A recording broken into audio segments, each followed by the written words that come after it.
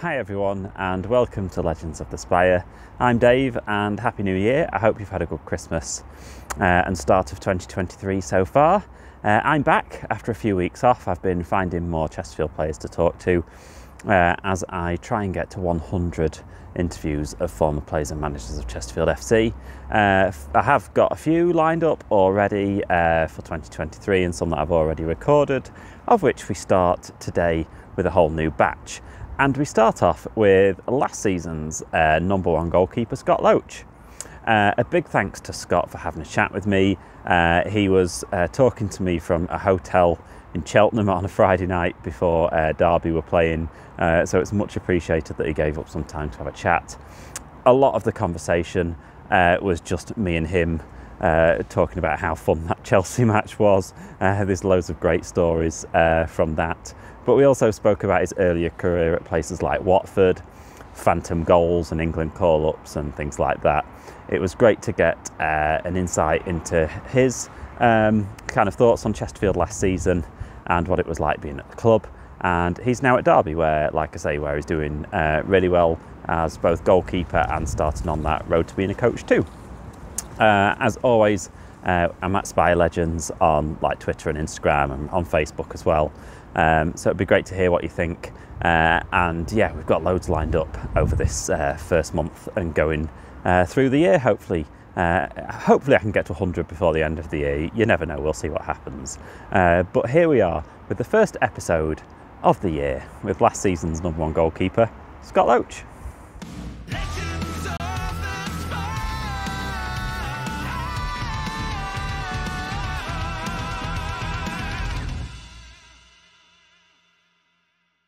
Which part of Nottingham were you from? Because I, I went to university in Nottingham. Uh, I live in Southwell now, or Southwell, okay. depending on yeah. want to step from where, you, where you're from. I went to school there. I was actually born in Nottingham and moved down to Suffolk, well, Essex, when I was four, moved back to Nottingham when I was 11. So, through to my, you know, my dad's work and stuff. So, yeah, went to school in Southwell. My wife's from Southwell. Um, although we didn't go to the same school, and we've ended up buying a house. Like we've been there for the last five years, just because I've got three kids, and it's hmm. quite a, quite a safe, easy little village. It's a bit like Hot Fuzz, actually. If you've ever, if you've ever seen the yeah. film, that's the only way. To, that is the only way to describe it, mate. It's, it's kind of where we live, so it's um, yeah, nice little area.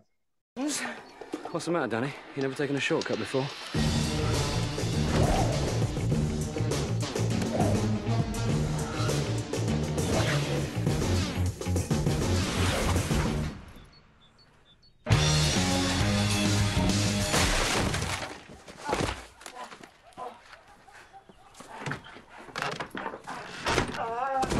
Suppose it's a good part of the country to be based as well, isn't it? Because if if you like the nature of being a footballer, you can end up anywhere, can't you? It's... Yeah, I mean, I found that when I was even when I was at Hartlepool and Barnet, obviously I travelled, but you're bang in the middle, you're two hours either way, and yeah, it does get a bit grueling sometimes. Mm. But you know, when you look at the likes of your Exeters, your Carlisles, and you know Cheltenham, for instance, Swindon's, you know, I'm quite lucky to be based where I am. Yeah, and it kind of explains a lot because I was looking at it thinking uh, you kind of started your youth career at Ipswich, and I was like, that's a long wait, a couple yeah. of days a week to go to Ipswich. But I suppose that explains it with with being down there. What was that like? Yeah, so um, so yeah, obviously moved down there. It's a funny one because I'm a Man United fan, but Ipswich was the first team I watched, so I had a big bit of a soft spot for Ipswich, like big soft spot for Ipswich. Hence why when they came in for me when I was at Watford, I didn't even think about it, and hesitate. I went. So um, it was nice to go back there this year with Derby, but obviously I can't say that too much because like main rivals now for promotion, so I have to keep that one under the wraps. Do you know what I mean? But no, it's um, yeah, it was a that's how I ended up down there. Just it was my local team, so they were kind of the first team I grew up for and kind of played for. And were you always a goalkeeper, or did you ever dabble in the outfield? Um, I've been a goalie since I was eight, but I went on trial at Ipswich as a striker. Goalie got injured, so I just went, I'll go in goal. And the scout turned around, and I, I, I can still, you know, like you have like early memories. I remember there was one save I dived the wrong way for, and I saved it, uh, hit my foot, things hit me in the face. You know, one of them days where things just hit you. And the scout said to my dad, he went, "He's a goalie." So whether that's a compliment or a negative, I don't really know. but yeah, so I've just stuck in goal since then. And my dad, and my dad played in goal non-league. Like my dad played for Braintree as well, and teams like that, kind of just on the edge of the. I suppose it was the um, it's called like the I don't know what it was called back then, but the equivalent of like the one below the Conference North and South and stuff. So he played a decent level. So kind of just following in his footsteps a little bit. Do you not have that? Did you find that you didn't have that fear then of chucking yourself at, at people and things, or you're just kind of happy to get stuck in? I'm I'm kind of like it now. I don't know, even like last year and stuff. Like even now, I don't really think about stuff.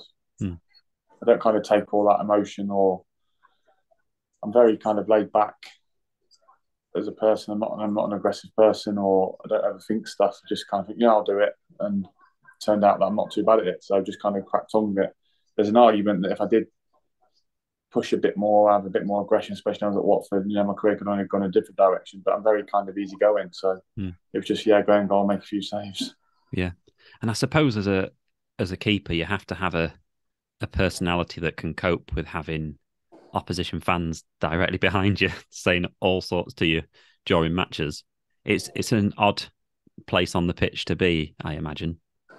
Yeah, I actually try and join in with them and trying to try and like deflect it by like hammering myself. Like I've been called, I don't want to swear, but I've been called, you know, rubbish. But. I turn around and I'm like, yeah, I know. Like, like, you know, so what? Like, it is what it is. So um, I just try and have a laugh and enjoy it. I think you can see that with my celebrations, not just at Chesterfield. Like when we score every every single club I've done that, I get right into the game, passionate about and playing for. Just love football. Even now, yeah. like doing the role I'm doing now, just love training, diving around on that grass, or when I'm coaching, like when the kids make the save, I like I get proper enthusiastic and into it. It's just something I really love doing.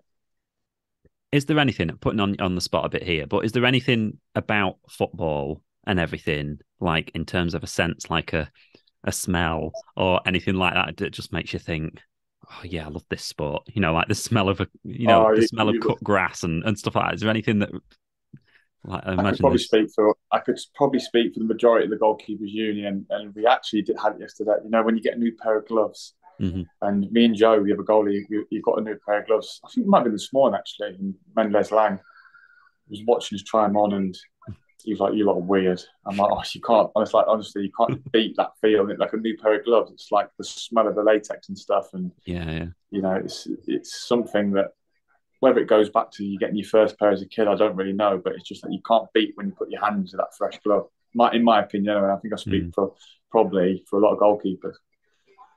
Yeah, and I was I was speaking to a writer recently, uh, Daniel Gray, who writes a lot about kind of the amazing nostalgic things about football, and there is the, you know, it's like the collecting the stickers and the yeah. like the smells and the clunk of a turnstile and all that stuff. It is there's there's loads of things, isn't there, in the sport that shouldn't be important, but or, or make it what it is. Yeah, and I think another one for me is like you know when you've had a really good session, or like you've worked, you know, like there's a goal and you get wet and you get muddy. You know when you're walking in and your clothes are almost sticking to you a bit. You think, yeah, I've done, I've done, done a bit today. Mm. Like there's that feel as well that I think you ne- never want to lose because one day you are going to lose it. Do you know what I mean? But it's like yeah. that that feeling is um, of work and just being out on the grass is is something special in my opinion. Yeah. So what was it like, kind of finding your feet then and getting your getting your first proper contract? Because was it was it Lincoln first proper contract? Um, my first proper one really was probably Watford because I did my youth team at Lincoln. If you class as pros, oh, I went to Lincoln. Um, it was funny actually because I only live twenty miles from Lincoln, back to stay in digs. uh, I found it really difficult actually moving away, moving away from home. I think because at that time all my friends were starting off to go off to college or do other things, do parties and stuff like that, and I was I was away in digs. Found it tough. I had a really good set of lads. The first team, they were excellent. Obviously, times have changed, but some of the stuff we had to do, like getting locked in the boot room and stuff, yeah, probably can't go into too much of it, but that kind of made me grow up a lot. Um, bearing in mind, I've just turned 16. Um, and then it was kind of different back then. It was like you didn't have your 23s and your stuff like that you have now. It was reserves or it was first team. And I actually got to play in a reserve game everyone came to watch Jack Hobbs and, and just happened to do really well. I only ever played one reserve game, did really well, and because I'm quite a big lad for my age and stuff. then then got scouted by Watford, and that's where I went down for a trial, and then the rest is history, really. Yeah, and was that fifty grand? Is that right? I to this day I've heard hundred grand, I've heard 150, oh. and I've heard sixty. So if if we go 150, it makes me sound better. So, but I honestly honestly don't know, and I didn't really care to be honest. It was um, I got offered a four and a half year, year deal at 18. It was like, come on, this is like the best thing ever. Do you know what yeah, I mean? Yeah. So, yeah. God, that must have been amazing. So did you have to? So who were your digs uh, people like? Was it like a oh, like an old couple or anything like that? No, it was a young. It was a family, and she had three young kids. Uh, her name was Susie, and the, and the guy was called Dennis. And honestly, I, if I don't think it was for them, things could have gone differently. Like I still speak to Susie now. They were honestly incredible, like incredible, incredible people. Like really made me. If I if I got in after training, no one was in, and I was in the living room watching telly, for instance, it wouldn't ever feel awkward. They'd just go and do their own thing, or they literally yeah. took me on as one of their kids. Um, and you know, I can't speak highly enough of them of putting me, I suppose, on that like path of growing up as a man as well, being away from mm. home. I didn't try and. She almost mothered me, but at the same time, kind of, and made me feel welcome, and then just also let me get on with it. It wasn't very strict or strict or anything like that. It was like you've got to learn. I've just got, to, you know what I mean? Putting a roof over your head and looking after you, kind of thing. Yeah, and then to get a big contract and then have to, I suppose you're off to London, aren't you? So that must mm. have been must have been interesting. You, you, find it hard to not get distracted by bright lights or anything like that. Did you just kind of knuckle down with the football and everything? Well, this sums me up. In the whole time I was at Watford, seven odd years, I probably went to London less than twenty times, mate. I just can't stand the place. Even when I was at Barnet, that's where I travelled. Like literally, I'm I'm very easygoing. It's it's like it's just not for me. Um, obviously, we had some good occasions when friends came down and you know, nights mm. out and stuff like that, which I think any young lad would do. But regards living there, I had a little flat in Hatfield, which is just outside on the A1, so I could just bomb up and down the motorway to, to come home. But at the same time, it was a uh, it, it, was my flat. Do you know what I mean? It was the best thing ever. So um, yeah, I didn't. I don't want to say I got distracted by bright lights. It just mm. I think like, you don't really take it all in. You know, when I look back now, I, don't, I can't. Don't really, didn't really take it all in. Just yeah. kind of got on like again just got on with it. Yeah i suppose you do don't you when you're that age you just get on with things don't you? Yeah like you know i think i was i had this little it was funny actually i had this little green fiesta. The boot didn't shut properly because i reversed into a wall when i was learning to drive. Um i think one of the windows was electric but i had to wind it down. And then pulling into the car park with like marlon king barry sense ashley young chris eagle and it was just like yeah you know it's but you just let you talking work on the pitch and just had a really good goalie coach. And obviously, Ben Foster was there at the time, he was an unbelievable mentor. So, all, that, all the other things were irrelevant, really. So, you had quite a few loans, obviously, when you were at, at Watford. One of them was at uh, Morecambe. I think mm-hmm. it was, and you saved a, a penalty from a fella from a, a, a previous podcast guest and Chesterfield ex striker Martin Gritton. Mm-hmm. Uh, what's it? What was it like going on those loan spells and stuff, and kind of finding? Well, funny enough, I, I, then went back a month later with Bradford and saved another penalty at Macclesfield as well. So within the same month, two different teams saved a penalty. but when I was a youth team player, Martin Gritton came to Lincoln, so I kind of knew him. Ah. So yeah, it was kind of that felt really nice. But um, to be honest, Morecambe was a bit daunting. It was my first loan, my league debut. Um, I was miles away from home. Joe Lewis has just been there, done incredibly well. Got a big move to Peterborough. Um, obviously went in. I made my debut against Stockport on New Year's Day. We lost two one. Like nothing I could do, but didn't really affect the game, did we? Mm-hmm. And then it was that game against Macclesfield that I kind of won everyone over. And then all of a sudden, my loan got cut short because they wanted to buy someone, you know, because of the loan rules and stuff like that. Yeah, yeah. And it was kind of the best thing that happened to me because I had a little taste of it. I wasn't away for too long. I wasn't stuck up in Morecambe it was kind of like that's proper men's football. That's where you've got to go. So it was kind of a blessing in disguise.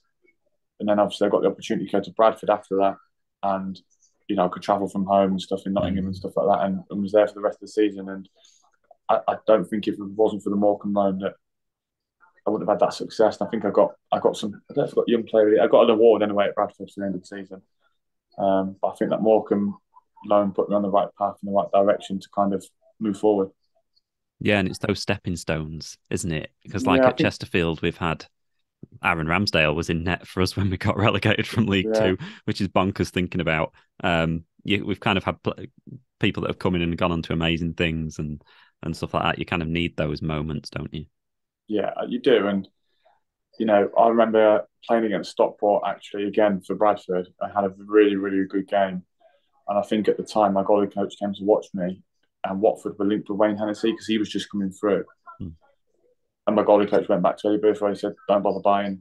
We've got a young goalie here that's going to be more than ready." And you know, I went back that that season, and after three games, I was in the team, and then played for four years on, on the bounce. So it's mad how football really works out. Yeah, yeah. And is it right that the first goal you let in at Watford was that strange ghost goal thing? Yeah. Which Yeah. was really odd. I was watching the video last night. Yeah, It's it's still it's a baffling. it gets worse every time you watch it, mate. Honestly. You you kind of think, yeah, it's it's absolutely baffling. What what was that like at the time? Uh, I'll tell you what. So Mart Poom came out to head a ball out for a throw in, went over on his collarbone after about ten minutes. Then all of a sudden, I'm, I'm on the pitch, and then it like my first goal kick. I remember I must have kicked it from here to my wall away. Like you know, you keep a feel nervous like that. I was thinking, oh god! And then they broke through. I had a one on one. I made a really good save from Jimmy Kebe. And then you know, like one of them horrible swinging free kicks that bounces all the way through. mhm. I had one of them I had to tip over the bar. This was all within literally five minutes of being on the pitch. And then the ghost goal happened. And I was like, what the is going on here? Like this is this is welcome to you know, welcome to the championship and stuff like that. So and I remember putting the ball down for a goal kick and the ref had just run back to the halfway line and Stephen Hunt and I remember him running off celebrating, you can see it on the video, and everyone's like, What? And I get that the ref said the linesman said it went in, but my argument to this day is like you're in the box, you're still on the edge of your team. You Yeah. you can see that it didn't go in. Um, we can just dissect it as much as we want. The fact of the matter is, it's complete farce, isn't it? But yeah, no, and then so yeah, so welcome to the championship. I remember, it wasn't the one at uh, maybe Southampton once where it, it kind of went in and hit the, uh, I think it hit the advertising board and bounced to actually went in and was a goal, but bounced out. And I don't think the gave yeah, like hit the, hit the bottom stanchion at the back and came back out. Yeah, I can't remember where that was, but yeah, it wasn't too long after that either. There was a couple of iffy decisions I've done a couple of years that were, you know, didn't put refs in a great limelight. no. and we've had some, you, you get some interesting ones at National League level, don't you? Obviously, you- you're still yeah, I'm sure we could. so where, where was it last year? Was it Solihull at home last year, or was it? Yeah, we could talk Yeah, about yeah. it more. Oh yeah, Curtis Weston, bless him. Uh, yeah. Um, oh yeah, and there was the Jak McCourt that should have been a red. And- it, oh yeah. yeah, it was. Yeah, that's the one. Uh, yeah, there was. It's, it's usually always Solihull as well for some reason. Um, Yeah. But there we go. Um, so so yeah, you were under a bunch of uh really good managers then, weren't you? Under Watford, you kind of Yeah. your Malky Mackay, Aidy Boothroyd, Brendan Rodgers. Um, what was it? Who who did you find that you reacted best under, or are you the kind of guy that can kind of get along with anyone? Um, to be honest, Brendan was the one that. So I I, I Malky Mackay a lot for my career. So he kind of took over. So basically, when I got into Watford under Boothroyd, I had a really freak injury. I was playing at Bramall Lane. I made a save to my right, and it was one of them. You know when you go full stretch, but the ball sticks to your hand, so like your momentum stops. Mhm. And I snapped my like my the muscle that connects from your stomach to your hip snapped cleanly off my hip. So I had like a five centimeter hole inside my stomach. Um, so I was out for six weeks. They put it down just to a growth spurt, and luckily, like, and it, weirdly, it just grew back. It was it was a very very weird injury. Eighty before I got sacked, and then Malky came in for a couple of games, and I was just getting back to fitness. And he just came up to me and just went, "I'm playing you." Before QPR away, played. Sorry, QPR at home. Played against QPR at home, and Bristol City were on Tuesday, in which Brendan Rodgers was in the stand. And to be fair, Brendan came down and just said, "I know enough about you. I've seen you, so I'm going to stick with you." So Malky gave him that initial chance. And Brendan believed in in young players at the time because obviously he'd been working at Chelsea and he brought the likes of Jack Corton and Ian Bridcutt to the team. So they're quite a young squad. And he he was way before his time, mate. Brendan was. He was hmm. Doing possession drills and playing out from the back just before it started. And you know, he was very, very good. And obviously the club had its own uh, financial troubles and there was stuff going on in the background. So he actually left to Reading in which Malky took over, and I played every game for Malky, every single game. So I think over two years, and he was unbelievable. Um, really, really good manager in the fact that he could manage young players and old players the same. He, he never kind of favoritised anyone. Um, the schedule, you knew what you're doing every week, and when you were doing it, um, you knew on the training pitch he was the boss, and he would. I'll tell you what, he wouldn't be afraid to give you some. But then off the pitch, he was your mate. Do you know what I mean? So Yeah. got on probably the best and did my best with Malky, and then Dyche took over. Uh, and I think Dyche's an unbelievable bloke. He's a great, like honestly, one of the funniest guys, one of the most detailed guys ever. Uh, And but weird as player manager, we didn't see eye to eye. Hmm. But outside of football, and I used to give him a lift back to Northampton, and I know his son really well now and stuff like that. I can't speak highly enough of him, and I think as an actual manager and details, he was probably the best. But we didn't see eye to eye as player managers. That makes sense. Yeah. So he obviously brought Thomas Kuszczak in, but I have no issue with that. It's business. At the end of the day, he's got to get what he wants for the team, and I actually learned a lot off Thomas Kuszczak, who'd come from Man United at the time. So um, difficult to pick a best one between them all because they all have their qualities. But mm. I'd say finer details for me and the way he went into things, I'd probably say Dyche edged it, but that's just my personal opinion. Yeah. But then I'm the best time with the Malky, so do you know what I mean? It's kind of just trying to kind of it's, it's really hard to balance it out. Yeah, yeah, totally. And it was like like you said, it was 130 consecutive appearances, was it? Something like that. Yeah, I think I played something like 153 out of 155 games or something. Yeah. So what's Which, it like when you just find you you're just finding your rhythm? I suppose you do you just ride a bit of a crest of a wave when that's you happening? do, yeah. That's exactly it. You know, when you're a young lad, it's just adrenaline. Adrenaline just gets you through. You don't overthink it. You don't think about anything. Obviously, there was no. But you know what helped me as well? There was no Instagram. There was no Twitter. There wasn't any mm. until I went to Ipswich. There was none of that. So if people were caning me and hammering me, I'd never hear about it. Or whereas now you can have a bad game or you can have a good game, but there's still ten people that think you're rubbish. Yeah. And you, you definitely know about it on the Saturday night. So I didn't have any of that. Um, so I think that obviously helped as well because you can't say as a 22 year old that it wouldn't affect you. You don't know, do you, unless you're in that no, world. So, yeah. Um, yeah. So for me, it was just literally like I, I remember one time. I can't remember who played on the Saturday, but I knew we was playing Doncaster the following Saturday at home. And I remember telling my mate on the way home, I was like, I can't wait for next Saturday. Like the game had only just finished. but you know, I just love that buzz of being out on the pitch. Um, so yeah, I think I just got through on pure adrenaline. And obviously, alongside that, then like some international recognition, which is nice. So you got like 14 under 21 yeah. caps, and you were in a, a three England yeah, squads, was squads, it? Yeah. So I mean, that must have been yeah, that must have been ace just to be part of that. Yeah, again, like again, it's not really until I've got a mate called I'm going to give a shout out called Jordan, and it wasn't until literally a couple of months ago he had a bit of a dig at me, and he was like, "You gotta collect shirts or memorabilia and stuff, but they've all been in my loft or my garage or whatever." And he's like, "You've done good things. Like you got, you know." Because again, I don't really playing for England is great. It's great recognition. It's like, yeah, it's okay, you know, it's my job. Do you know what I mean? And it's not until he's basically made me get all my stuff out. I've started to look back a little bit and gone, yeah, you know, all right like as daft as it sounds, and I'm sure we'll get to it. The best I've ever felt in my career is when we played against Chelsea last year.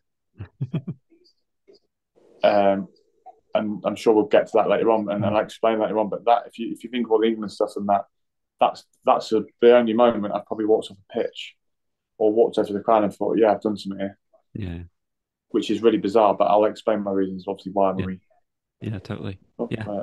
No, it's great. I mean, it's funny as well. I've spoken to loads of footballers, and they say that they they sometimes talk about, uh, you know, how fans might come up to them in the street and say, "Do you remember that goal you scored against Shrewsbury in 1994?"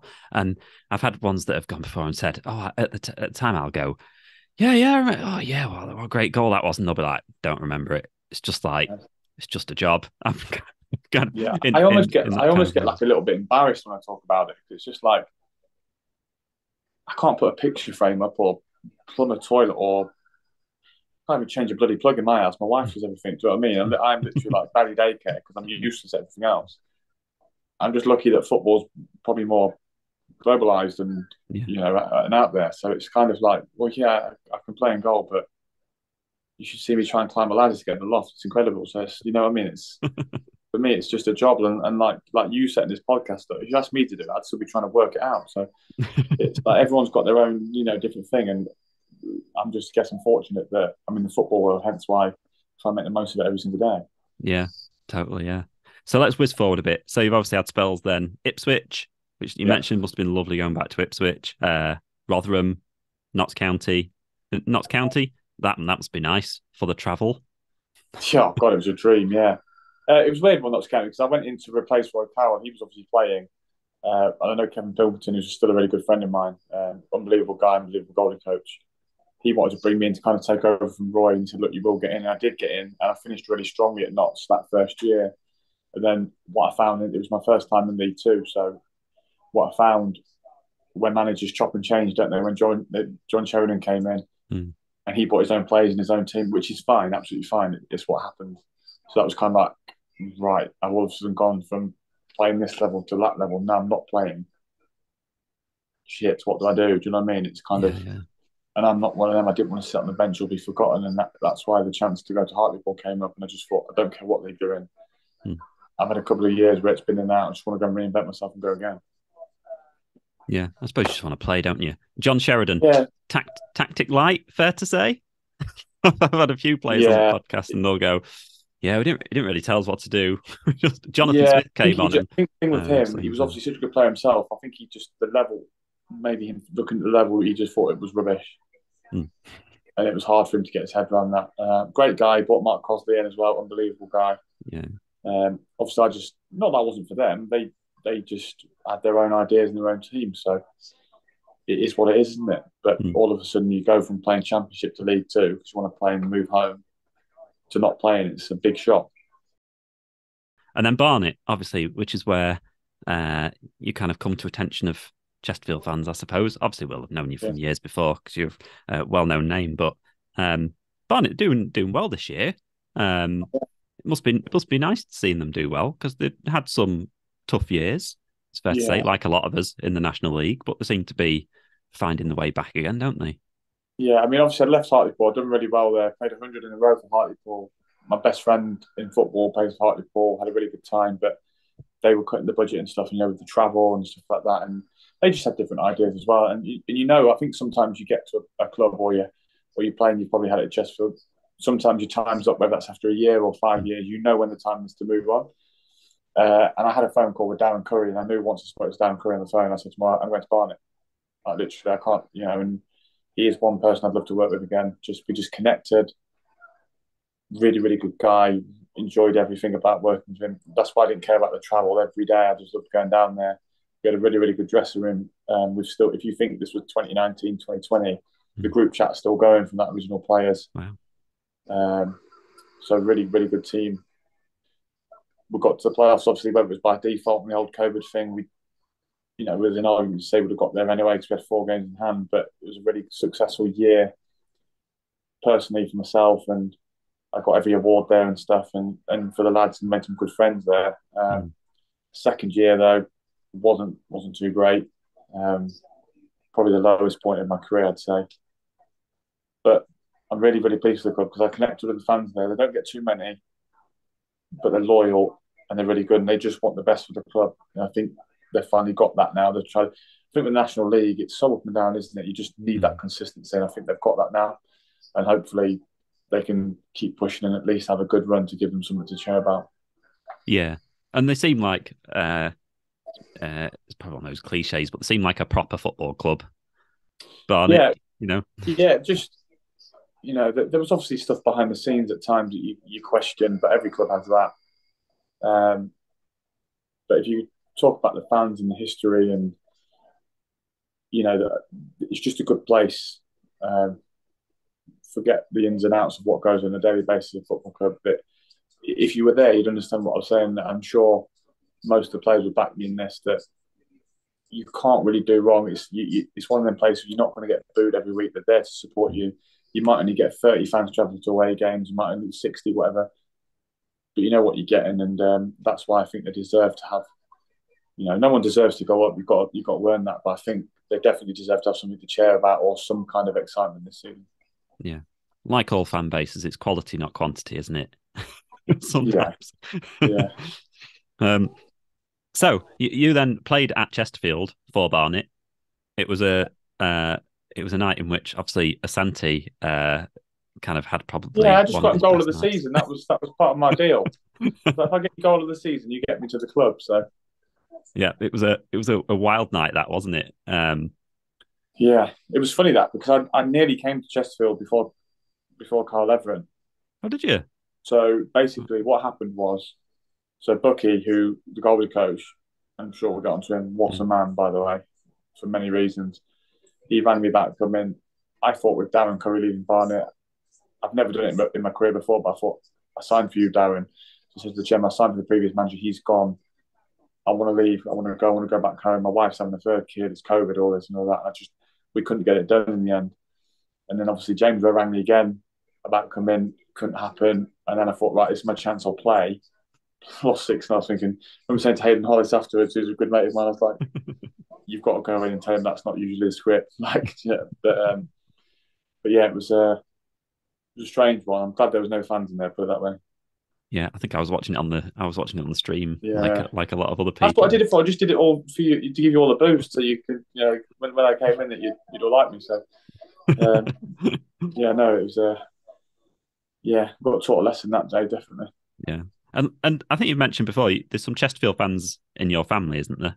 Yeah, Jono Morris. So if you listen to the John O and his dad, um, they married into my family, married my cousins, but it's turned out that now I'm probably closer to Jono than any of my cousins or anyone. So like, he's a really good friend. He's a really good family friend and a friend. Does a lot for me as well on my coaching side, and um, you know, just just a genuinely good bloke. He's you know, and his lad, his little lad's now at Derby as well. So ah, it's, right. it's, just really good yeah. connection. But um, he used to say for years, come to Chesterfield, and then like there's a few pictures of when we beat certain teams. I'd always go over to him, and I think nine times out of ten, when you see the pictures of me sticking my hand, it's always to him. Do you know what I mean? It's mm. um, got a really, really nice connection with him. Yeah. Yeah. So it seems like it was kind of fate then that you'd join us eventually. you know, it was one of them clubs I always wanted to join. Um, so when it when the opportunity came, I was like, I literally couldn't believe it. And, and you're not going to believe this. I'm, I remember when when you lost in the semi-finals to Notts County, mm-hmm. and Monty got injured, and Monty's yeah. an unbelievable keeper and, and, and, a great guy. I know Monty. I said to my wife, and this is hand on my heart, I said, I'm in. I just had a really weird feeling. I was like, I'm in. Mm. And then the next morning, uh, Bucky rang me. It was so, so weird. It was like the weirdest thing. It's like I just got a feeling that I was I was going to get the opportunity to come and play. Yeah. And like you mentioned, Bucky, so he seems to have risen uh, kind of right through the, the club at Chesterfield to kind of get to that position. Tell us a bit more about him because because uh, we kind of see him around only, a lot. But... He's the only. I've had some good goalie coaches, some very very good goalie coaches. There's a couple. There's there's probably there's three that I keep in touch with. Ross Turnbull, who obviously played for Chelsea and he was at Hartlepool with me. Kevin Bilton, I've said, and Bucky. And I still speak to Bucky today. He is. He just got me, mate. He just got. He just understood me. He knew how to manage me. He didn't care about like he'd let me have it as well. He, he, knew, and he also had this really good way of pushing my buttons, probably without me knowing it, and it'd make me want more. And then he knew when to come off me. He knew like from the psychological aspect alone, he's definitely up there with the best. Uh, like he's, I said it before, he, he just he just had this way of like he knew he, and even now if he was speaking to someone about me, if I if I said to him, "Oh, Darby, give me three days off," he'd be like, "Well, you can't have three days off because you're a bag of sh- shit. After you need to, you can only have one day off."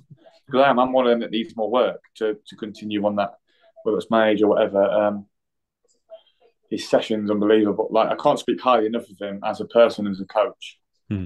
Um, he definitely improved me 100. Um, percent I don't want to get too cheesy on that. I just thought he the, only way to sum him up is he understood exactly what I needed, and somehow he knew mentally and psychologically what I needed, and he, he knew like he knew how to ref me up and make me angry, yeah, and then be like, yeah, do you know what I mean? And it was just just just really good. But his commitment, mate, to the cause as well. Like, forget mm. the coach stuff. He's in every day. He's learning. I mean, he's doing his A license. He's no he's no fool. Do you know what I mean? He's, yeah, he's yeah, got all these, these badges and outfield badges as well. He knows the game. Um, and he's someone that I'd love to someone just give him the opportunity because I think if he got into a higher club, he'd slot he'd slot right in. Sky's the limit. My uh, uh, interesting uh, that I was in the match in the match the other day. Uh, go to the match with my mother, my dear old mother, and uh, and she remembers when he was a kid because she used to work with his mum. Really? and she was like, "Oh, I remember him when he was a little boy. He's done so well." so... I will say this though, because if, if he does have a list, he's rubbish at head tennis and he's cheat and he cheats. like there, there could be one that's ten yard, like ten yards, in, like a yard in, before it's even before it's like out and picks it up. like he knows how to he knows how to play the game, and then, and then he'd wind me and Dylan up, and it. But then we'd be like, "Oh, it must be that." So he, he knew how to play the game and win his points as mm. well. So he's he's no he's no mug at head tennis. I mean, he's go. rubbish, but he uh, he knew how to win a point. So, how did it all come about then, uh, in terms of actually signing for Chesterfield? Was it a, a James Rowe phone call, I assume, or, or was so, it Bucky when he rang you?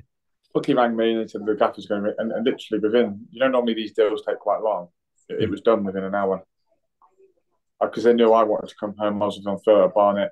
Yeah. Um, it wasn't necessarily, it wasn't about a contract or money for me. It's like, like, get me to Chesterfield at this club. I've got a golden opportunity here. So it was done. I wanted to be there knew a lot about the gaffer from playing against him, the way he played and his record and stuff like that. So it was no no hesitation for me. Obviously, knew Hayden Hollis really really well. Um, so it was for me, it was literally a no brainer to go there. Mm. Yeah, and what were your first impressions of the squad and stuff? Because we obviously built a very built a good quality squad to have an, a, assault on that title. Very very good squad. Very very good changing room. Changing room full of experience, winners, and just generally good people into one. Do you know what I mean? It was like the demanding training was good. Like even if you like Kingy and your Calvin Millers, you could see what the great players and Lawrence and people like that. Um, Ross McGuire, mm-hmm. technically unbelievable and stuff like that. But then you had Curtis West and Jumani, like training meant something. But then as soon as that, that had finished, it was laughing a joke. Do you know what I mean? And yeah, yeah. And that's what I thought was the um, really, really good thing about it. And everyone, everyone just, everyone just bought into each other as well. Everyone got on really well. And um, I think with James Rowe as well, we all knew our role. So we all knew exactly what we are doing, what we had to do to succeed. And that was it. So no one could kind of stray off or while you were gone. So mm. um, we all knew what direction we were going in and we all worked together to do that. Yeah. Who who did you uh, who did you enjoy facing in from the strikers in training and stuff like that? Because obviously some some fierce power behind people like Danny Rowe and, and, and yeah, well, like Danny Rowe, he, he is honestly what a guy for a start. But I just got to the point where I just thought I'm moving out of the way. He just I mean, he hits a ball so hard, it's unbelievable. But then he just used to like it always used to be against me that I'd end up facing it. Be like, you know, like you do four shots, and the next goal is in four shots, next goal is in. I'd always get him and have that big smirk on his face. and then he, he would just purposely kick it at you, I'm telling you. He got to the point where I was like, Bucky, I'm not I'm not breaking hand, I'm moving out of the way here. So if I could avoid his team on five or be on his team for five sides, that that was good. Uh, but then you had your dark horse in Jak McCourt, very very good technical mm. player. Would never really smash it, but just feel it in. Lost McGuire is technically like very very good finisher. Then you just had Cabs. I mean, Cabs could fall over and it could hit his knee and his chin at it going. He just stinks of goals, doesn't he? he does, he's yeah. just he's just one of them. And then, I mean, Kingy obviously, as you've seen, unbelievable. I could I could name them all. Really, that that team was really full of full of talented players. Hence why we had a decent little run and had a good go at it. Mm-hmm. Did did Kingy uh, was he doing a lot of practice on stuff like free kicks? Because obviously this year he seems to have hit like another stratosphere because yeah, all he, those are just going in. It's ridiculous. He's, he's, a really good pro. He's worked on his game and his professional side, and uh, you know his fitness stuff and his technical stuff. He, he was always working, always doing stuff. You know, I've seen him put a few over the stand. Don't get me wrong, but you got to keep doing it, keep doing it. And he's a player for me. If looking from a neutral, we still he's he's the best right back in the league by a mile. Mm. He's he's got league quality. I think everybody knows that. Yeah, yeah. Um, I think, uh, but he's worked on it, and he and he and he continues to work. And it's all right having the talent, but the consistency is what he's got as well. So, mm. you know, fair play to him. Yeah, matter of time, isn't it? So before we go on to a couple of those key games, uh, like that you've already touched on a bit, um, just like on James Rowe, obviously there's things happening that we're not going to mention, uh, but just as a gaffer, how did you how did you find it and like preparation of games? Because like you were talking on the on the phone when we had a quick yeah. chat that his preparation of games was excellent. I, I really liked him. You know, I really liked him. I got on with him. Don't get me wrong. There was stuff sometimes I was just thinking, you are definitely not wide upright, but probably footed. But you know, he was so detailed to everything. And like I said to you on the phone, I remember playing Southend away, and I remember going 3 0 up against Southend. And I literally just said to myself, he said it'd go like this. I remember just looking at the whiteboard saying, if you do this, this, and this, this is what's going to happen.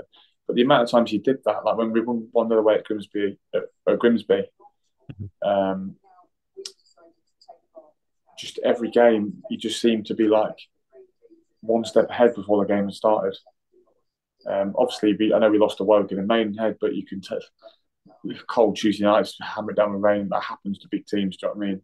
Not saying we're a massive team compared to them, but if you think of some of the performances we had, I didn't. Touch, I mean, I was getting clean sheets for fun, but didn't really touch the ball. Hmm. Didn't really touch the ball. I'll be honest. I had a few crosses to come for. Um, but even Salford away, like I made a couple of saves, but we'd gone to League Two, so I spent a lot of money and we dominated the game. I thought. Yeah, yeah. Uh, I just thought I just thought the guy, the, the, guy genuinely believed, right? I'm telling you now, he genuinely believed that we would beat Chelsea. He didn't. He didn't have it as a an occasion for our families and stuff like that, and go down and enjoy it. It was like, no, we're going to do this two ten, blah blah blah. He was like, we're going to beat Chelsea, and he genuinely believed in his mind, which is great, that we were going to beat Chelsea, mm. And that's just who he was. And you know, I can't speak for whatever went on or whatever. And don't get me wrong, people clash and people do things, and we all know he, he could rant and rave and stuff. And but as a coach and as a manager, I liked him. I think I knew where I stood. He knew what he wanted, um, and I, and I just thought he was destined to go on to, you know, big things. But obviously, things happen. Yeah, yeah, yeah. And some of those games. So you mentioned Southend. That was the match when there was like the pitch invasion because Southend were uh, kind of protesting, weren't they? Against it. I was fuming, mate. 17 minutes out of time. And I said to the ref, I was like, if they score another time, because I was on for like nine clean sheets and 11 or something. I was like, you're having it. I was like, just 4 0 up, just call the game off. Just, just call the game. He's like, I've got to do it by law. And 17 minutes. And then a free kick in the dying, dying seconds, like in swinging free kick, and luckily it came straight into my hands. I was thinking, if they'd have scored that, I'd have lost my head. um, but, but yeah, 4 0, like, but when we turned it on, we, we were good. That's what we could do to teams. Mm. Yeah, and I think at that Southend match, there was like a bit of a camaraderie between the two sets of fans because Chesterfield had been there, like a lot of clubs had been there, and it, yeah. it's uh, it's you know it's just one of those things that happened, didn't it? I suppose.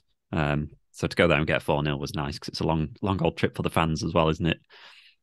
And yeah. for you guys. yeah, there's a few long trips in that league. Yeah, and it was like what seventeen clean sheets? Was it? Yeah, I think yeah, 17. it was good. 17 clean sheets. And arguably, if you think of some of the stuff that happened, I genuinely believe, and I'm not knocking Cookie at all, he's a great gaffer, but obviously different styles of play. He'd rather win 4 3, I think, than 1 0. But if James would have stayed, we would have had mid 20s, I think. Mm. that wouldn't have been down to me, that would have been down to the team just being really, really solid and everybody knowing exactly what they're drilled to do. Yeah, yeah, yeah. And there was loads of injuries as well that season, wasn't there? I suppose there was at times when you could have ended up playing outfield at some point because yeah, there were that many players injured. No one wants to see that, mate. Trust me. No. uh, I I, I, think I'm like Rickie Lambert in five aside, but that's as, as flamboyant as it gets. so, um, Chelsea, obviously amazing. It was such a fun day. Oh. I was next to this. I was stood next to a guy. Never met him before in my life he'd been split up from his mate on the coach.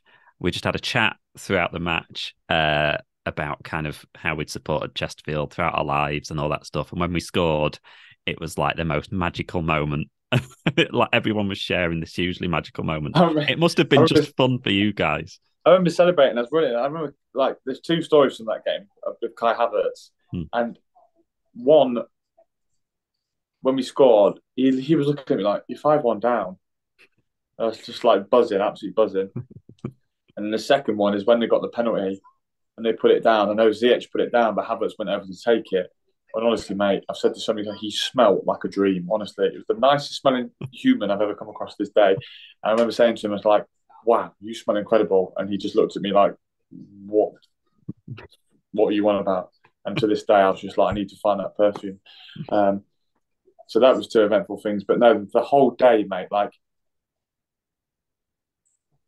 like the fans for a start, I think they made it. They were incredible.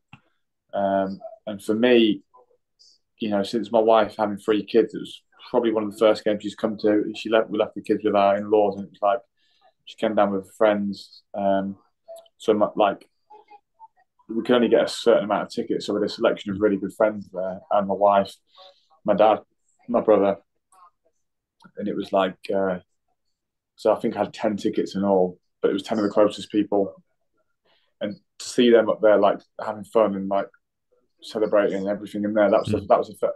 Not that they didn't do that when I was younger, but that was the first time it hit me, and I was like, yeah, I did that. I made I made them enjoy that. Like it was, you know, that was that meant a lot to me to see them and then to see all the fans and the standing ovation afterwards to get 6,000 people. Mm. And I know every home game you get applauded off, but to put up with that scoreline and, and just be there to appreciate the club, it was like, you know, we've, we've put a smile on people's faces today. Something something a bit rare.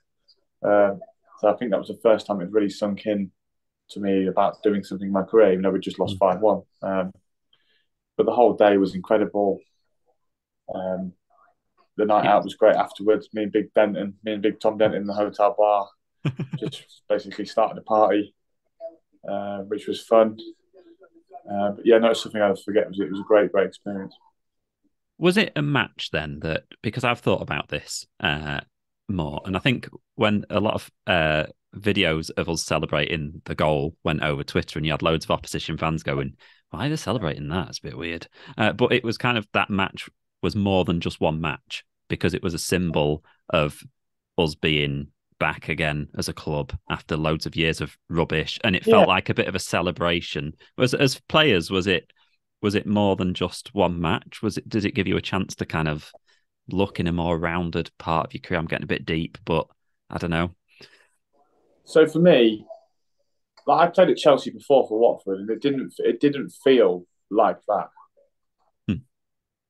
Whether that's because, like you just said, I mean, I can't speak for the previous season of when I remember when I was at Barnet, Chesterfield struggled that year, relegation, and, and just managed to stay up and stuff. And, and no disrespect to any of the teams or the games you go to. You know, when you've done that for year on year for a couple of years and you get Stamford Bridge, mm. it's kind of like it's a reward for the players of your hard work. So we had to go to Salford and win, we had to beat Southend and yeah. and stuff like that. But it's an achievement for everybody involved at the football club on the highest level. You're playing against the Champions League winners the previous year. And don't get me wrong, they didn't pull any punches. I, I went and shook Thomas Tuchel's hand afterwards, kind of like had a hug and got lost in it. I thought I was tall, but he's tall. And I, I just said to him, I was like, thank you. I said, I said thank you. He was like, what? I said, for playing your full strength team. Because there was rumours that they weren't going to do it. Because I think that showed us as a club a lot of respect. I think that also made it more of an enjoyable day for the fans. Because yeah. let's say, for instance, you're 5 1 down against Chelsea 23s, it's a different atmosphere, isn't it?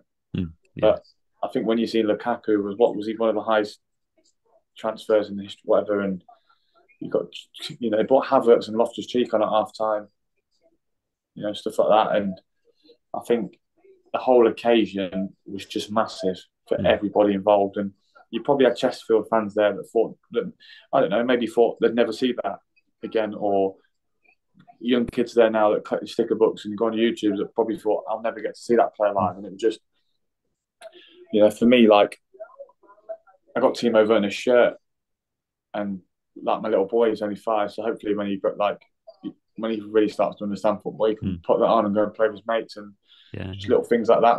And I know Gav got a few shirts for his kid and stuff like that, so it's great for memory to be. But they're things that can pass on for for generations as well. Just just the moments because you talk about high quality international players you're talking about the top of the tree. Like, I mean, you, are watching the game, you're probably someone going to say they're robots. They're actually robots. They were massive. Like that's the what I kind of remembered when they came out on the pitch. They were, they were all massive and they were all incredibly quick. And you just like the first 15 minutes was a bit like, what? I, I said the second half, Werner scored and he was offside. A through ball came through, and I thought I was getting this. And I, I said to him, I went, "You are." And there's a picture on my social media. I'm not sure if you've seen it hmm. of us both smiling together because I said to him, "I was like, you're so fast." Like the you think the and that's what I was saying about like enjoying the game and not getting like I didn't get nervous. I just thought I'm going to enjoy this. Mm. And like the ball's gone out for a throw in the National League, you're setting up for a long throw. They're that quick to keep it in, and all of a sudden like they want to attack it. Hmm. Like they were just all so quick, and mm. it was like they were four steps ahead. Like, it was it was unbelievable, and I think to be in that. I think what it is to play in that game. When I played there before, like I said, for Watford, there was no social media or anything like that. I think to play and players weren't worth 80 million back then. Hmm. I think to play in that game, I think for me to kind of really hit nail on the head, the, the global superstars now, aren't they? Yeah, yeah. And I know, like back in the day, like I played against Frank Lampard and Terry and stuff like that, but it wasn't like it is now. Does that make sense? Mm. Yeah, yeah, yeah. These are like global, global superstars, and it, that's how kind of they're thought of. And for me, it was just being involved in that occasion, and my nephew seeing my brother's kid seeing like he was like Lukaku's, but like, and, and you could sense that in all the fans, the excitement. They didn't care. They didn't care if we lost. Hmm. But the goal and the, the, fact that we had a go and didn't give up and kept going. Norwich lost that season at Stamford Bridge 7 0. Yeah, yeah. Uh, other teams got beat by more scoreline than that. Um, I think because we had a go and didn't show any fear and they respect us, I think that's what made the occasion, in my opinion, like one not to forget. And it's tough when you think about, oh, you've played for England, yeah, lost 5 1 to Chelsea, way better. Because hmm. I think it brought so many people together, in my opinion, that it just meant a lot more. Yeah, totally. And and last thing on that match, like when they the team gets released, because I was with a load of fans walking to the ground, and you just kind of seeing the ground in the distance, and everyone's phones was pinging as the team were coming in, and we were like, "What? Can you yeah. have you seen the team that he's putting out? I imagine it was must have been was that kind of excitement then when they yeah, put honestly, out that team so when, rather when, than when um, and like I said, yeah, when they played Boreham Wood and we drew one one was it, and even at Barnet and Hartley, I always get I always get I always used to get nervous playing Boreham Wood away. Whether that's because the ground is smaller and the expectations different, like you should beat them and mm. and stuff like that. But I remember walking out at Stamford Bridge, and they were doing that light show, weren't they? Yeah, yeah. I was like, I was, this is unreal. Like I was like walking out, like, like this is like, like un- unbelievable, because nobody cared what the result was going to be. Mm. I think, I think, and, and, by them naming that team, I think that actually took a lot of pressure off us. Yeah, totally. Yeah.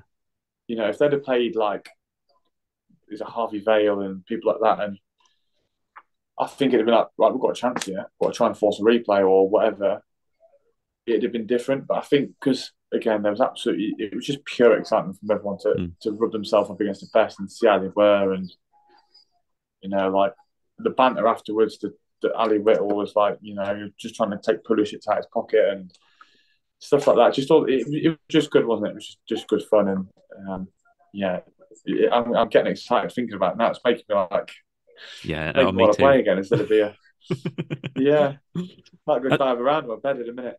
But no, yeah, no, it was um, yeah, what a day.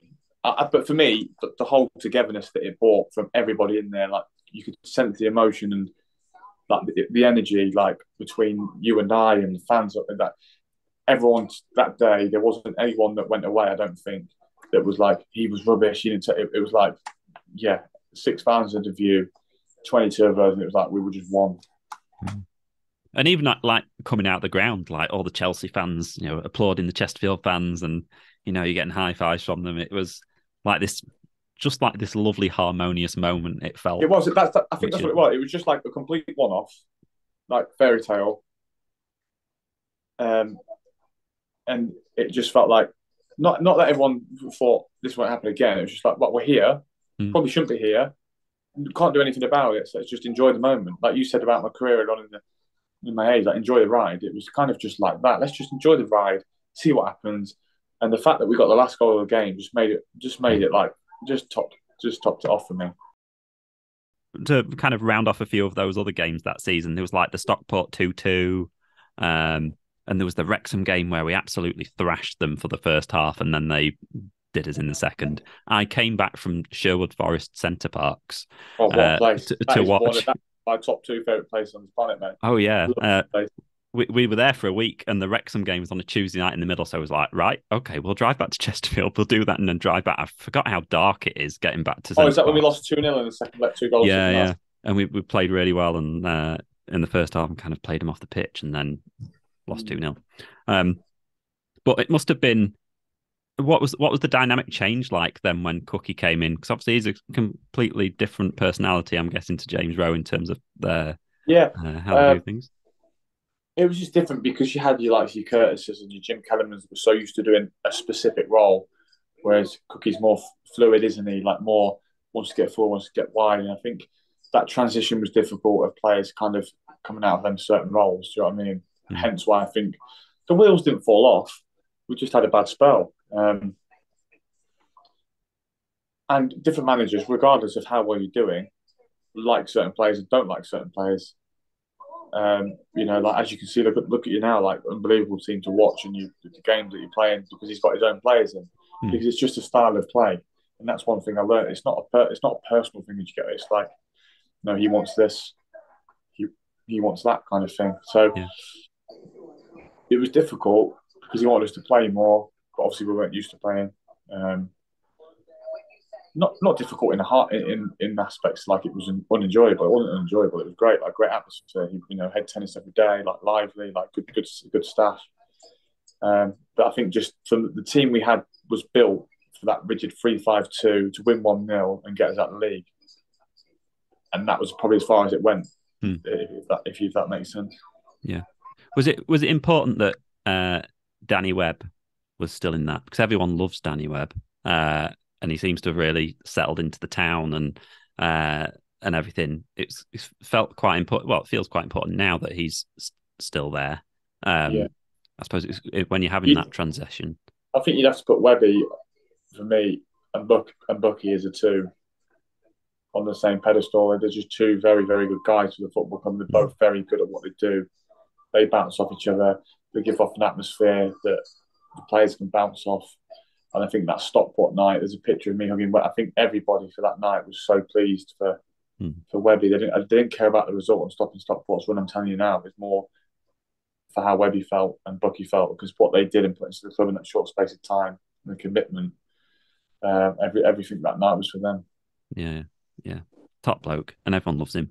I think we all hope that like those two are going to be around for a long time. But um... yeah, hopefully, because good people like clubs deserve good people, and they're two of the best you'll get. I'm, I'm telling you. Yeah, totally. So we're getting right to the end of Chesterfield then. So uh, Halifax playoff. It was an interesting one that because uh, how did you go into that? How did you approach going into that? Because obviously, as fans, we probably all thought, oh, we might not do that well in the playoffs now because we kind of, you know, uh, stuttered maybe in, in terms of getting in there, like you say, because it's hard that transition, isn't it? Um, but then we had a great game against Halifax, who had such a good home home form. It was. I think we played them not too long before, and we lost two 0 It was never a two 0 game. We just gave away two really, and that I think that was our problem a little bit under Cookie, in my opinion. I never actually remembered it getting. We lost a few, but we were giving, we were doing stuff. Whether that's because we weren't as rigid, so we were giving really bad goals away, and I think we knew that. Hang on a minute, these are really beautiful. Um, and I think as well, going in as the dogs, we, we, we got over the line. No one expected anything. It was just like, and I think we blew them out the water. It was 2 1. They scored, but they didn't really threaten after that. Yeah. Um, it, it was very, very comfortable. I don't actually think I touched the ball with my hands, really. I think I made one save in the first half. It was offside, but I don't remember being caught. I don't even remember having a cross or a cutback or a shot into me. I thought I'd be peppered, but I wasn't. Um, it, it, was, I think, with the lads, we just had no fear. We mm. got over the line, like we scraped it, and then we just thought, well, we might as well have a go at this. And I think that's how it just played out. And you know, we had good players in the dressing room. And when you, you play with that freedom, sometimes it works in your favour. Yeah. So so we get to the get to the end of that season. Obviously, Southend, uh, Solihull happened, and they, I mean, they to be fair to them, they were kind of what twenty minutes away from being in the football yeah. league in the end um, and they're stuttering a bit this season, uh, maybe on the back of it. But how do what what are your kind of presiding memories of that season? Then looking back to that Chelsea game that's top of the tree, I'm guessing. Yeah, top of the tree. I enjoyed working with Bucky every day. I, I think he, he, like I've said, it. I won't go too much about him because it'll sound like the David O'Hare show, but. I felt like I learned a lot about myself, a lot about my own coaching because he helped me with that as well. Ideas of him, the way he approaches it. Um, really enjoyed working with him and Melvin and Dylan. Couldn't have worked with two better guys. Honestly, Melvin, Jesus Christ, like some of the stuff he used to do was outrageous. like he'd make saves. I was like, I can't make that save. I can't. Make, I just can't make it. So I, ha- I have to be in the right position just to be able to catch. Like I have to work harder to get in a better position. Because honestly, he had these arms that just like, just extend out nowhere. Like honestly, incredible. Um, really, really good atmosphere when the goal so that was good.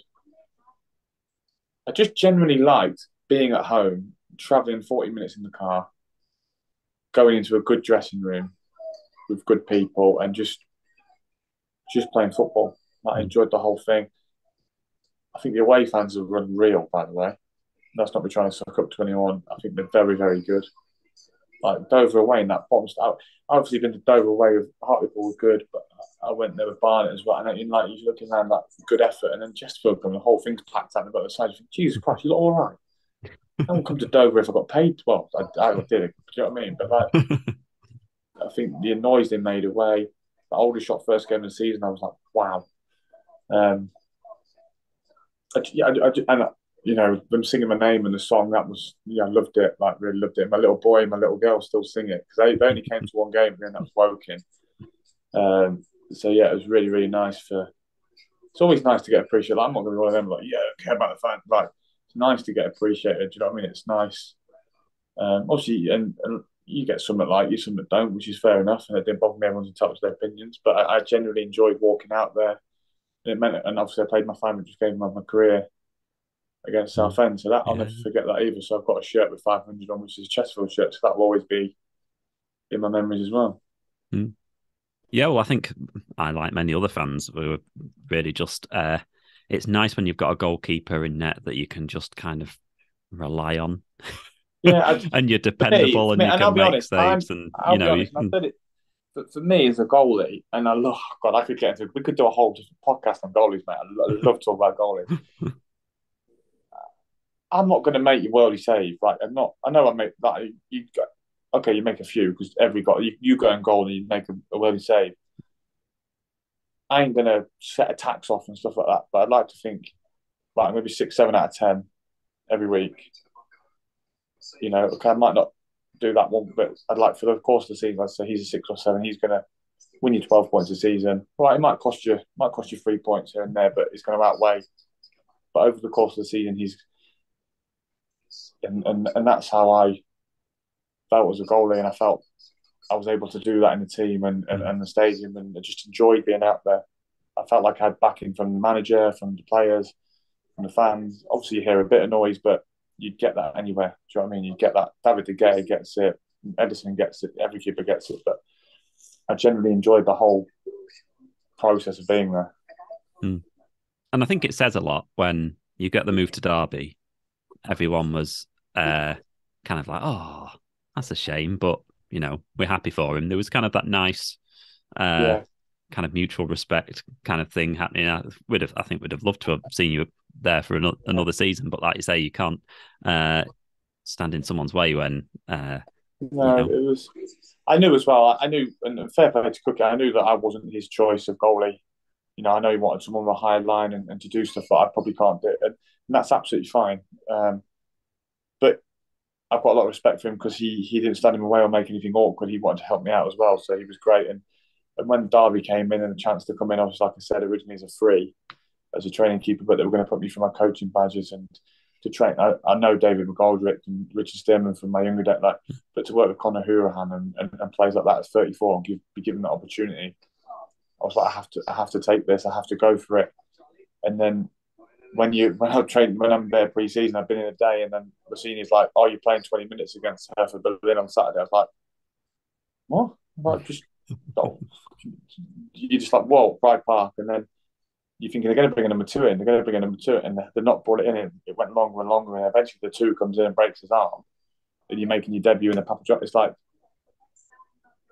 it's just mental how football works, and it's just it's just an opportunity for me for longevity that's been been something that I wanted to try and wanted to go for and actually really really enjoying the role that I'm doing. Mm. So what's the so you I suppose you get to start to get uh, you're a goalkeeper so you can go on until you're like 45 can't you but you start you start to I, I, guess think about you've obviously, not seen, get, you've obviously not seen me get out of bed mate so um, for me personally I would love to get my badge I'm obviously doing some coaching in the academy I've, I've done a been doing sessions with the 21s and 18s. Um, I actually did one with the first team boys the other day. Like Andy Warrington let me take the lads, which was really really nice. Like, so I kind of like worked my way up from the from the pre academy stuff. Um, for me, I'm I'm here to support Joe, who's playing really really good goalkeeper, and almost like be just do what I'm needed to do. Like, what if they want me to run on the bench? I'm ready. I'm ready to play. I know I can play League One. Like, I know I, have played there before if they want me to be a free and stay at home and train and do whatever and be there for training, you know, I'm happy to do it. But whatever I do, I'll be 100% committed to it. Um, just want to stay in the game as long as I can and hopefully make that that transition slowly into coaching. Um, if it doesn't work out, might have to drop back down and go and play for whatever reason, or or do whatever you've got to do to stay in the game. But mm. I think I think at some point it's going to stop, isn't it? Like you can't play forever. And, my, and the point I'm trying to make is when I call that Derby County and say we can put you on that that ladder to the next step. Yeah. It makes it a little bit easier to make that transition. And and you know I've learned a hell of a lot of stuff since I've been here. Um, so you're just going to have to see how it plays out, really. Mm. But what I would say is that, I, like I said to you about, I get really enthusiastic. We've got a young lad that plays for England who's only 16. God, I love him. I'd adopt him. I thought he's like he's a great kid, really good kid. Um, called Jack Thompson. We've got some really good goalies, and you've got Harrison Folks who's just gone around to Kettering, and you're like when they make saves, like oh, you generally want them to like do well. Like when Joe has a clean sheet, like I generally want to see Joe get a move for championship or take us up. It's like whether that's an age thing or where I am. Mm. Uh, like I said, you, I just love goalkeeping, so I just want to I want to be there and be part of their improvement. And for me, if I can see like young Tomo come through and play a first team game, that'll be just as successful for me. Playing at Chelsea, like we said, it, will mean mean just as much to help one of these come through and hopefully go and have their time.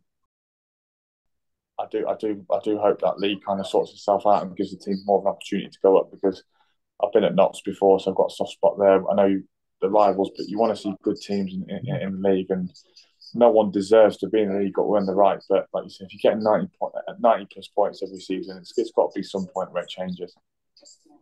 Fingers crossed, fingers crossed. We don't want to be there as as long as Wrexham have been in there, what, 15 years or something like that. I don't, I don't my mate, my mate might mind me saying this because I used to school with him to Barnet. He's at Maidenhead. No one wants to go to Maidenhead on a Tuesday night, do they?